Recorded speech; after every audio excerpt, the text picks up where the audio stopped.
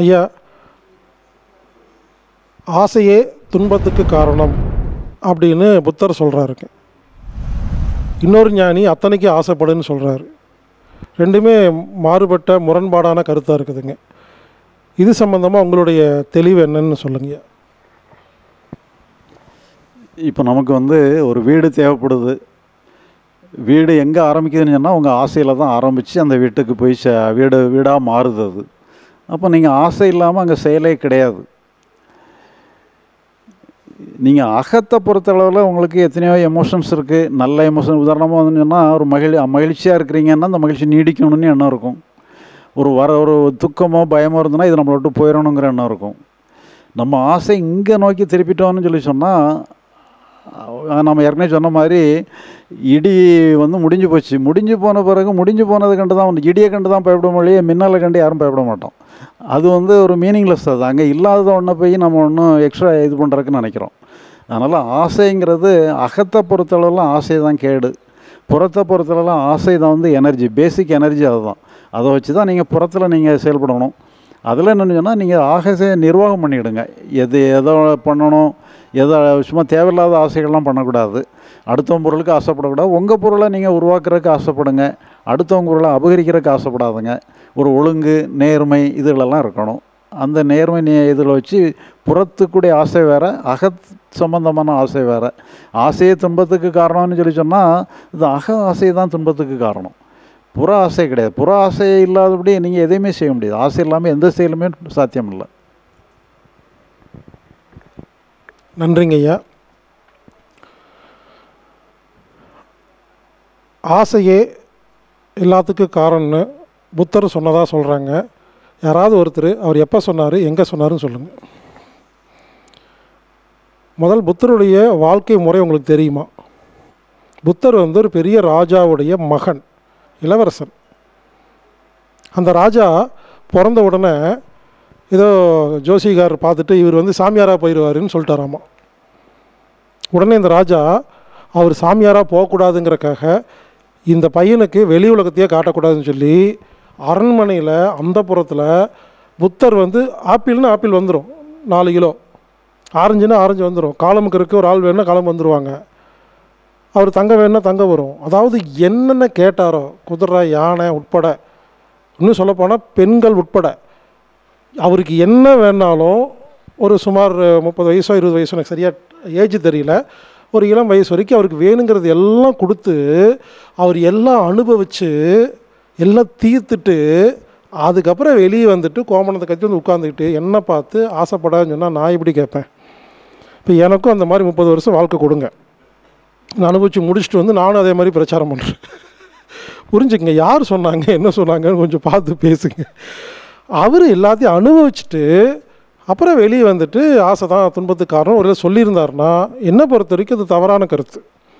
அத்தனைக்கு ஆசைப்படுன்னு சொன்னால் அதுவும் தவறான கருத்து. ஆசை சீரமைத்தல் தான் சரியான கருத்து.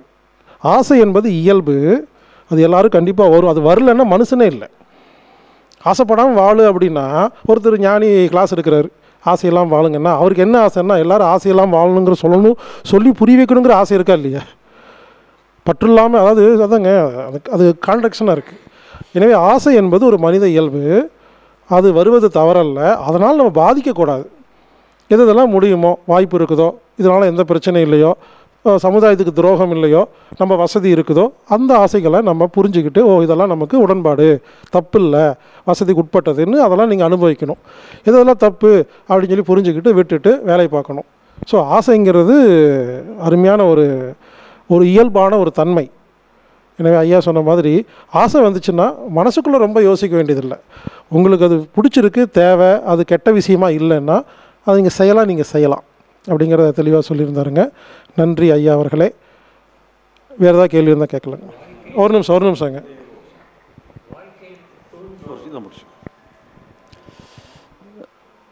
புத்தர் வந்து எப்படி ஞானம் அடைகிறாருங்கிறத பார்த்தோன்னு சொன்னால் அவர் துன்பங்கள்லேருந்து விடுபடணுங்கிறதுக்காகத்தான் அவர் வந்து அதுக்கு ஒரு முழு இதை கண்டுபிடிக்கணும். ஒரு ஒரு அதுக்கு ஒரு ஆன்சரை கண்டுபிடிக்கணுங்கிறத தான் வெளியே வராரு. வெளியே வந்து தவ தியானங்கள்லாம் ஈடுபடுறாரு. நீங்கள் மெடிடேஷன் பண்ணவங்களுக்கெல்லாம் தெரிஞ்சிருக்கும். தியானங்கள் பண்ணும் பொழுது சில அனுபவங்கள் கிடைக்கும். இப்போ அதே மாதிரி அவருக்கும் சில அனுபவங்கள் கிடைக்குது. பிறகு அது என்ன ஆயிருன்னு சொன்னால் பிறகு ஒரு அது ஒரு கொஞ்ச நாள் இருக்குது பிறகு போயிடுது அப்போ திருப்பி திருப்பி அதையே துரத்திக்கிட்டே இருக்கிறாரு. ஒரு கட்டத்தில் என்னன்னு சொல்லி சொன்னால் ஒன்றும் வேண்டாங்கிற மாதிரி எல்லாத்தையும் அப்படியே போட்டுட்டு ஒன்று ஏன்னா அது எல்லாமே அதை அது பின்னால் போய் போய் அது ஒன்றும் முடியலைன்னு சொல்லி அப்படியே விட்டுட்டார். விட்ட நிலையில் பார்த்தீங்கன்னு சொன்னால் அப்போ தான் இந்த அவருடைய மனோ இயக்கம் தானாக இயங்கிறத கண்டுபிடிக்கிறார். அது வரைக்கும் இவர் தான் துரத்தி துரத்தி அதை டிசைன் பண்ணார். அதை தான் அவருக்கு நிர்வாண நிலைன்னுட்டு பேர் கொடுக்குறாரு. அந்த நிர்வாண நிலை என்னன்னு சொல்லும் பொழுது அவர் விளக்கம் சொல்கிறது வந்து ஆசையே துன்பத்துக்கு காரணம்னு விளக்கம் சொல்கிறாரு ஆனால் அது வந்து இப்போ பார்த்தீங்கன்னு சொன்னால் சின்ன கிளாஸில் இப்போ ஒன்றாம் கிளாஸில் இப்போ சின்ன எலிமெண்ட்ரி ஸ்கூல்லேயே கூட சொல்லிடுவாங்க புத்தருடைய போதனை என்னென்னா ஆசையே துன்பத்துக்கு காரணம்னு சொல்லிடுவாங்க ஆனால் அது யாருக்கும் புரியாது. இப்போ என்னுடைய லைஃப்பில் எடுத்துட்டிங்கன்னு சொல்லி சொன்னால் இப்போ நான் ஏற்கனவே சொன்னேன். இந்த மாதிரி அந்த ஒரு பரவச நிலை நீட்டு சொல்லி ஏற்பட்டதாக சொன்னேன். அந்த பரவச நிலை ஏற்படும் பொழுது சொல்ல போனால் ஒரு ஃபுல் பாட்டில் அடித்தா எப்படி இருக்குமோ அந்த மாதிரி. இப்போ தான் அடுத்தவனுக்கு தெரியாது நமக்கு மட்டும்தான் தெரியும். அந்த ஆனந்த நிலைங்கிறது ஒரு ஃபுல் பாட்டில் போட்டால் எப்படி இருக்குமோ அந்த மாதிரி. ஆனால் வெளியே ஒன்றும் தெரியாது அடுத்தவங்களுக்கு தெரியாது. இப்போ நம்ம ட்ரிங்க்ஸ் போட்டான்னா தள்ளாடிடுவாங்க இது அப்படி கிடையாது. நமக்கு மட்டும்தான் ஆனந்தத்தில் இருப்போம். வெளியே அப்படி ஒன்றும் மற்றவங்க பார்வைக்கு நார்மலாக இருக்கிற மாதிரி தான் தெரியும். ஆனால் என்னன்னு சொல்லி சொன்னால் நம்மளை அந்த ஆனந்த போதையை கடந்து எந்த பிரச்சனையுமே நம்மளை பாதிக்காது. இப்போ வந்து ஒரு பெரிய கவசத்தை இரும்பு கவசத்தை நீங்கள் அணிஞ்சிருக்கிறீங்க. எந்த வாளால் வெட்டினாலும் வாள் தான் தெரிச்சு ஓட முடியும் உங்களுக்கு உங்களை அஃபெக்ட் பண்ணாது. அதே மாதிரி அந்த பரவச நிலையே ஒரு பெரிய கவசமாக இருந்ததுனால எந்த பிரச்சனைகளையுமே நம்மளை டச் பண்ணாது. ஒரு வாழை வச்சு கவசத்தில் வெட்டினோன்னு சொன்னால் வாள் தான் தெரிச்சு விட முடியும் கவசத்துக்கு ஒன்றும் ஆகாது நமக்கு ஒன்றும் ஆகாது. அதே மாதிரி எத்தனையோ பிரச்சனைகள் எந்த பிரச்சனையும் நம்ம டச் பண்ணாது. அப்போ நமக்கு என்னன்னு சொல்லி சொன்னால் நம்ம எதை அடையணுமோ அதை அடைஞ்சிட்டோம். இதுதான் ஞான நிலைங்கிற மாதிரி தான் ஒரு திருப்தியாக தான் இருந்தது. ஆனால் சிறு சிறு அந்த உடல் புண்ணலை பாதித்த உடனே பிறகு அதை விட்டு வெளியே வந்தால் தான் நம்ம பிழைப்போங்கிற மாதிரி ஒரு சூழ்நிலை வந்த உடனே பிறகு அதை விட்டு வெளியே வந்துட்டேன். இப்போ நமக்கு அந்த கவசம் நம்மளை விட்டு போயிட்டு. பிறகு அதுக்கப்புறம் என்னன்னு சொல்லி சொன்னால் வாழை கண்டு பயப்படாத நாம் வந்து ஒரு குண்டூசி கூட நம்மளை பயப்படுத்துது. ஒரு சின்ன பிரச்சனை கூட நம்மளை பாதிக்குது. அப்போ ஒன்று ஒரே குழப்பம். அப்போ என்ன தான் பண்ணுறது ஏன்னா நம்ம ஞானம்னு சொல்லி பரவச நிலை தான் ஞானம்னு நினச்சி அந்த நிலையும் அடைஞ்சாச்சு. ஆனால் அதுவும் நம்மளுக்கு நிலைக்கலை. அப்போ என்ன பண்ணணும்னே எனக்கே தெரியலை. அப்புறம் கட்டத்தில் ஒரு கட்டத்தில் என்ன பண்ணணும்னு சொன்னால் ஒன்றும் வேண்டாப்பா. எதுவுமே நமக்கு தேவையில்லை. ஞானமும் வேண்டாம் லிபரேஷன் வேண்டாம் முக்தி வேண்டாம் எதுவும் வேண்டாம். நீ சொல்லி எல்லாத்தையும் தூக்கி கீழே போடுற புத்தர் எப்படி கீழே போடுறாரோ அதே மாதிரி கீழே போடுற ஒரு ஸ்டேஜ் ஏற்பட்டது. ஏற்பட்ட பிறகு பார்த்தீங்கன்னு சொன்னால் அந்த மனசு வந்து அதுவாக இயங்க ஆரம்பிச்சிது. அது வரைக்கும் நாம் வந்து மனசை இப்படி இயங்கணும் இப்படி இயங்கக்கூடாதுன்னு சொல்லி மனசை டிசைன் பண்ணிக்கிட்டே இருந்தோம். இப்போ நம்ம எந்த டிசைன் பண்ணலை. மனசு அதுவாக இயங்கிச்சு. அதுதான் பிறகு நம்ம வந்து இப்போ இதே வந்து நம்ம வந்து யாருக்கும் சொல்ல முடியாது. இப்போ புத்தர் வந்து ஆசையை துன்பத்துக்கு காரணம்னு சொன்னால் யாருக்கும் புரியாது. இப்போ அதே மாதிரி நானும் வந்து நீங்கள் ஒன்றும் வேண்டாம்னு எல்லாத்தையும் தூக்கி கீழே போடுங்க நீங்கள் ஞானம் அடைஞ்சிருவீங்கன்னு சொன்னால் யாருக்குமே புரியாது. அப்போ புரிகிறவங்களுக்கு தகுந்த மாதிரி ஒரு லாங்குவேஜில் நம்ம ஏதாவது சொன்னால் தான் அது புரிய முடியும். அதனால் நம்ம இதுக்குன்னு சில ஒரு லாங்குவேஜை நம்ம கண்டுபிடிச்சி தான் நம்ம பேசிகிட்டு இருக்கிறோம். மற்றபடி டைரெக்டாக நம்ம சொல்ல முடியாது. இப்போ இதே மாதிரி இப்போ ரீசெண்டாக ஒருத்தர் நம்ம கூட பழகிட்டே இருந்தவர் ஒரு முஸ்லீம் பையன்தான் சின்ன பையன்தான்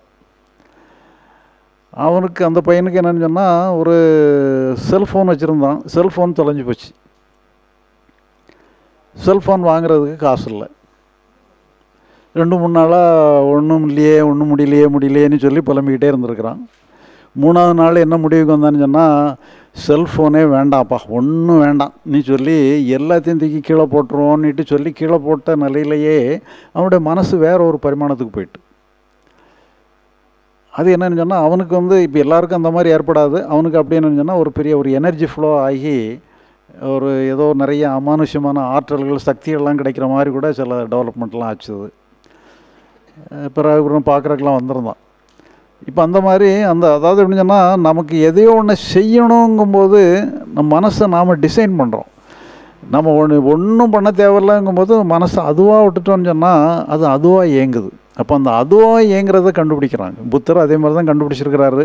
அது அதுவாக இயங்குறதுக்கு நமக்கு அங்கே என்ன ஒரு வேலை இருக்குது ஆசைப்பட்டாலும் கூட அதுக்கு இடைஞ்சல் தான். அதனால் ஆசையே துன்பத்துக்கு காரணம்னு சொல்லி சொன்னால் எல்லாருக்குமே இதை கனெக்ட் பண்ண தெரியாது அது. நீங்கள் மனசை அதுபோக்கில் ஒரு இயங்க விடணுங்கிற மீனிங்கை யாருமே எடுக்க மாட்டாங்க. ஆனால் உண்மையிலே புத்தர் கண்டுபிடிச்சது தான். எல்லா ஞானிகளும் இந்த ஒரே இடத்த தான் கண்டுபிடிக்கிறாங்க. ஆனால் அவங்க வந்து ஒவ்வொருத்தரும் ஒவ்வொரு விதமாக கண்டுபிடிச்சிருப்பாங்க.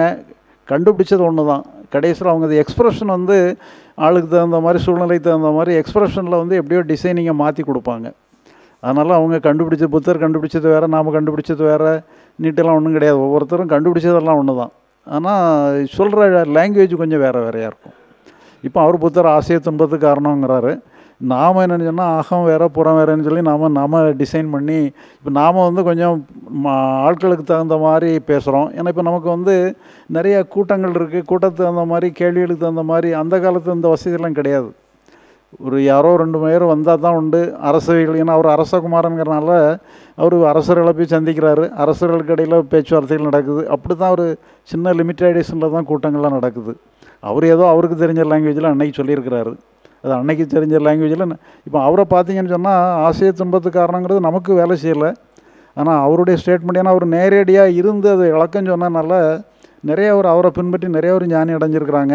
அவரை சுற்றியே ஞானிகள் நிறையா கூடியிருந்திருக்கிறாங்க.